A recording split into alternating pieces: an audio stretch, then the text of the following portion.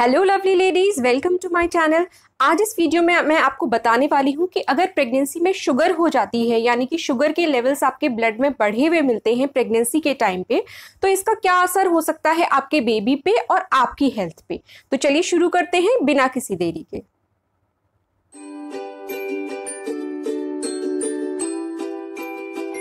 Pregnancy के दौरान अगर आपके ब्लड में शुगर के लेवल्स बढ़े हुए हैं तो इस कंडीशन को कहा जाता है जेस्टेशनल डायबिटीज़ यानी कि प्रेगनेंसी के दौरान डायबिटीज़ होना। पहले आप ठीक थी, लेकिन आपकी प्रेगनेंसी हुई और प्रेगनेंसी के दौरान आपको डायबिटीज़ हो गई। तो ये बीमारी होती है। क्या होता है कि आपके शरीर में जब आप प्रेग्नेंट होती हैं तो प्लेसेंटा नाम का एक स्ट्रक्चर बनता है और ये प्लेसेंटा आपकी बच्चेदानी से, यानी कि यूट्रस से आपके बेबी को जोड़ के रखता है और आपकी बॉडी से ऑक्सीजन और न्यूट्रिशन आपकी बेबी तक पहुंचाता है। तो ये प्लेसेंटा होता है। अब इसी प्लेसेंटा में से कुछ ऐसे हार्मोन्स रिलीज़ होते हैं जिसकी वजह से आपके ब्लड में जो शुगर का लेवल होता है वो बढ़ने लगता है प्रेगनेंसी के टाइम पे। अब अगर नॉर्मल हेल्दी कंडीशन है आपकी तो क्या होगा? कि आपके पैनक्रियाज में से भी इंसुलिन रिलीज़ होगी और ये इंसुलिन जो है वो बढ़ी हुई शुगर के लेवल्स को कंट्रोल कर लेती है।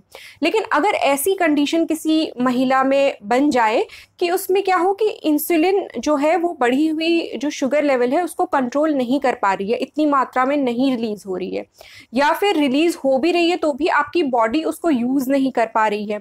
दोनों ही कंडीशंस में क्या होगा कि आपके ब्लड में शुगर का लेवल जो है वो बढ़ने लगेगा प्रेगनेंसी के दौरान। तो इसी को जेस्टेशनल डायबिटीज़ कहते हैं। अब इसमें आपकी बॉडी में कुछ लक्षण ऐसे दिखाई पड़ते हैं, अगर आपका जो शुगर लेवल है वो बढ़ने लगता है आपके ब्लड में तो आपकी बॉडी में ऐसे लक्षण आते हैं, जैसे कि आपको बहुत ज़्यादा प्यास लगने लगती है, कुछ ज़रूरत से ज़्यादा ही प्यास लगने लग जाती है, आपको बार बार यूरिन जाने का मन करता है बार बार यूरिन पास करनी पड़ती है, आपको शरीर में बहुत ज़्यादा थकान महसूस होने लग जाती है नोज़िया होता है और इसके अलावा ब्लर्ड विजन हो सकता है आपका, यानी कि आप को देखने में प्रॉब्लम हो सकती है, धुंधला दिख सकता है, धुंधला दिखता है। तो ये एक सिम्टम हो सकता है जेस्टेशनल डायबिटीज़ का।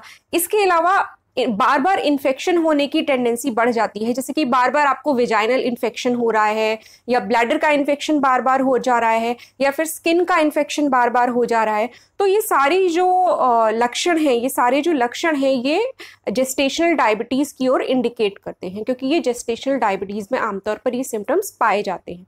अब इसकी डायग्नोसिस कैसे कन्फर्म होती है? ये तो आपके डॉक्टर्स जो हैं प्रेगनेंसी में रूटीन भी आपका शुगर लेवल चेक करते ही हैं। तो उसमें अगर ये आपके यूरिन में शुगर का लेवल बढ़ा हुआ मिल जाएगा और आपके ब्लड में शुगर का लेवल बढ़ा हुआ मिल जाएगा तो यूरिन टेस्ट और ब्लड टेस्ट के द्वारा इसकी डायग्नोसिस जो है वो कंफर्म हो जाती है कि आपको जेस्टेशनल डायबिटीज़ है। तो इसीलिए प्रॉपर रेगुलर चेकअप्स डॉक्टर से करवाना प्रेगनेंसी के दौरान ज़रूरी होता है, ताकि इस तरीके की कोई कंडीशन अगर डेवलप हो रही है तो वो डिटेक्ट हो जाए। क्योंकि ऐसी कंडीशंस अगर डायग्नोस हो जाती हैं टाइम से तो प्रॉपर इनका ट्रीटमेंट लेके इन्हें मैनेज किया जा सकता है। जो कि आपके लिए भी और गर्भ में पल रहे बेबी के लिए भी बहुत अच्छा होता है। तो अब हम बात कर लेते हैं कि अगर शुगर कंट्रोल नहीं हो पाई तो इससे होता क्या है? इससे रिस्क क्या क्या होते हैं बेबी के लिए और आपके लिए? तो सबसे पहले हम बच्चे की बात करेंगे कि बच्चे के ऊपर इसका क्या बुरा असर पड़ सकता है। अगर प्रेगनेंसी में शुगर बढ़ी हुई है और उसे कंट्रोल नहीं किया गया तो अगर कंट्रोल कर लिया गया है मैनेज कर लिया गया है तो आपके भी पूरे चांसेस हैं एक हेल्दी प्रेगनेंसी के और एक हेल्दी बेबी को जन्म देने के। लेकिन अगर किसी महिला में ये अनडायग्नोज्ड रह जाए या पता ना चले कि शुगर बढ़ी हुई है और उसका प्रॉपर तरीके से मैनेजमेंट नहीं हो पाए तो जो कंडीशंस हो सकती हैं, उनके बारे में मैं आपको बता देती हूँ। सबसे पहले बच्चे की बात कर ले तो बच्चे में क्या हो सकता है कि इसमें अगर जेस्टेशनल डायबिटीज़ है तो जनरली क्या होता है कि बच्चे का साइज़ काफ़ी बड़ा हो जाता है, यानी कि और उसका वेट भी काफ़ी बढ़ जाता है नॉर्मल से। तो इसकी वजह से अगर उसके बाद नॉर्मल डिलीवरी करने की कोशिश की जाएगी तो उस कंडीशन में ये थोड़ा डिफ़िकल्ट हो जाता है, क्योंकि बच्चे का साइज़ बड़ा होता है और आपका जो बर्थ कैनाल होता है, उसका साइज़ तो लिमिटेड ही होता है।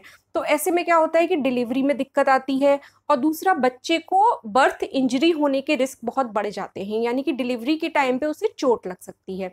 तो इसीलिए डॉक्टर्स अगर आ, आपको सलाह देंगे ऐसी कंडीशन में अगर पहले ही पता चल गया तो कि आप नॉर्मल डिलीवरी ना कराकर सिजेरियन सेक्शन की वहाँ पर ज़रूरत पड़ती है। तो इस तरीके से ये एक रिस्क होता है बच्चे के लिए जेस्टेशनल डायबिटीज़ में। अब इसके अलावा क्या हो सकता है? अगर जेस्टेशनल डायबिटीज़ है तो एक तो मिसकैरेज का चांस भी बढ़ जाता है यानी कि मिसकैरेज हो सकता है और दूसरा अगर आगे को प्रेगनेंसी प्रोग्रेस कर गई तो उस कंडीशन में अर्ली लेबर के चांसेस थोड़े बढ़ जाते हैं।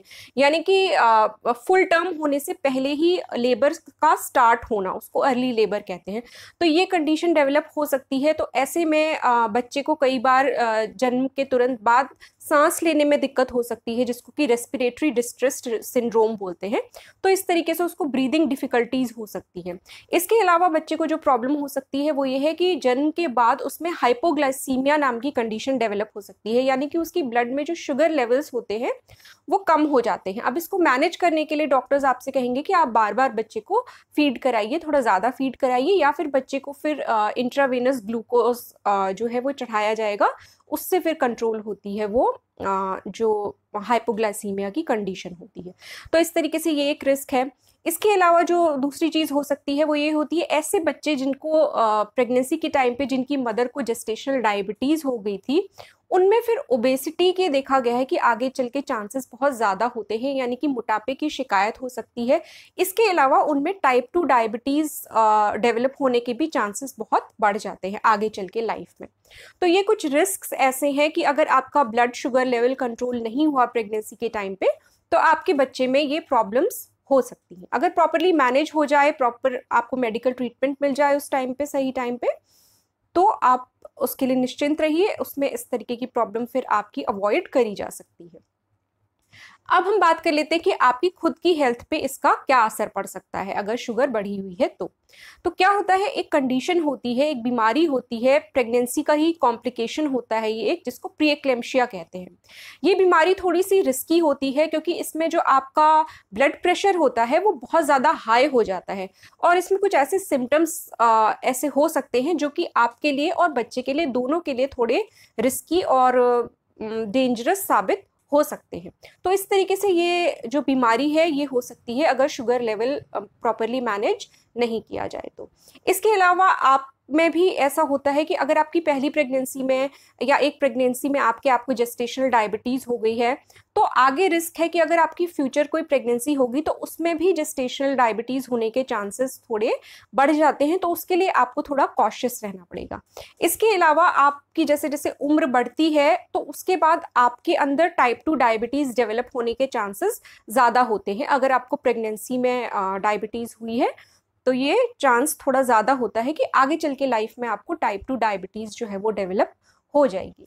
तो इस तरीके से ये कुछ रिस्क होते हैं जो कि आपके साथ हैं और बच्चे के लिए हो सकते हैं अगर ब्लड शुगर लेवल को कंट्रोल नहीं किया गया तो। अगर प्रॉपर आप ट्रीटमेंट ले रही हैं, आपका टाइम से डायग्नोसिस बन गया है और प्रॉपरली मैनेज कर लिया गया इसको तो फिर इसमें इन सब रिस्क से आप बच सकती हैं। और एक हेल्दी प्रेगनेंसी होगी आपकी और हेल्दी बेबी को आप जन्म दे सकती हैं। तो इसलिए कॉशियस रहना यहाँ पे बहुत ज़रूरी है और रूटीन चेकअप्स करवाना डॉक्टर से, वो भी बहुत ज़रूरी है। तो इस इस तरीके से अगर आप में थोड़े बहुत ऐसे सिम्टम्स मिलते हैं जो कि मैंने आपको बताया कि जेस्टेशनल डायबिटीज़ की ओर इशारा कर सकते हैं तो आप अपने डॉक्टर से जाके ज़रूर कंसल्ट करिए। वैसे जहाँ तक मुझे पता है सारे ही डॉक्टर्स जो हैं वो रूटीन में शुगर लेवल आपका चेक कराते ही हैं प्रेगनेंसी के टाइम पर तो वहाँ कोई ऐसा इश्यू नहीं होना चाहिए। बस ये है कि आपको कॉशियस रहना है और अगर शुगर ले, शुगर लेवल बढ़ रहा है आपका प्रेगनेंसी में तो आप अपने डॉक्टर से कंसल्ट करके इसको मैनेज कर सकती हैं, वो आपको ऐसा ट्रीटमेंट दे सकते हैं कि आपके ब्लड शुगर लेवल्स जो हैं वो मैनेजेबल लेवल्स पे रहें। आपको अगर कुछ भी पूछना है इस बारे में तो आप नीचे कमेंट सेक्शन में मेरे से पूछ सकती हैं। और अगर आपको ये वीडियो यूज़फुल लगा है, कुछ काम का लगा है तो आप इस वीडियो को लाइक कर सकती हैं और मेरे चैनल को सब्सक्राइब कर सकती हैं। मैं अपने चैनल पे प्रेगनेंसी से रिलेटेड ही काफ़ी वीडियोस बना चुकी हूँ और अपलोड भी करती रहती हूँ। इसके अलावा बर्थ कंट्रोल या कॉन्ट्रसेप्टिव मेथड से रिलेटेड वीडियोस आपको मेरे चैनल पे मिलेंगे। इसके अलावा फीमेल इनफर्टिलिटी यानी कि जहाँ पे महिलाएँ और कपल्स जो हैं वो प्रेग्नेंट होना चाह रहे हैं, लेकिन किसी वजह से नहीं हो पा रहा है, उनके लिए भी कई यूज़फुल वीडियोज़ आपको मेरे चैनल पर मिलेंगे। तो आप चाहें तो चैनल को विज़िट करके देख सकती हैं अपने इंटरेस्ट के मुताबिक जो भी आप देखना चाहें। मैं आपसे मिलूँगी अपने अगले वीडियो में। तब तक के लिए आप अपना ख्याल रखिए और बच्चे का भी ख्याल रखिए।